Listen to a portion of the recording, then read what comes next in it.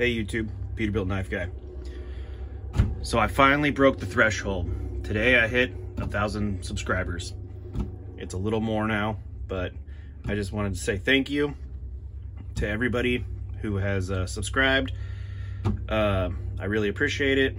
I never thought I would get this far when I posted my first uh, short and it blew up.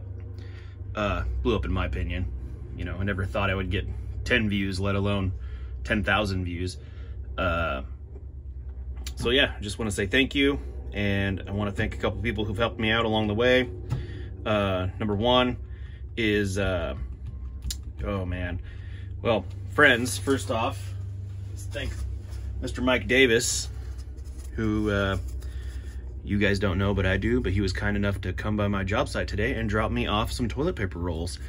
Um, he put in a lot of work to give me these, so I get a big thanks to him.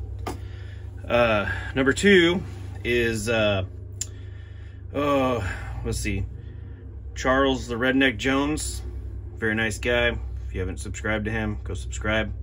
Uh, Scab, Choir Boys Outdoors, and then also uh, Tristan Barnett for shouting out my channel and uh, helping me get subscribers.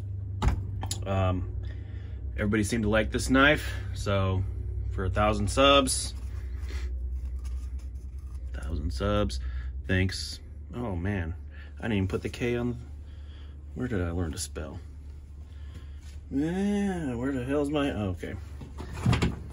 Yeah, it's just thanks, thanks to Mike Davis for pooping a lot and giving me a lot of uh, paper towel rolls or toilet paper tubes. So, don't know what else to do for a thousand sub video, but I'm gonna cut a toilet paper tube. Let's see here. Yeah, for all the people will say, you can't do that. It's impossible. Your knife, my knife cannot get that sharp. This is, what, $19 knife from a gas station. And it is possible. If they can't do it, it is because they suck. But, yep, thanks for, uh, thanks for subbing. Thanks for watching.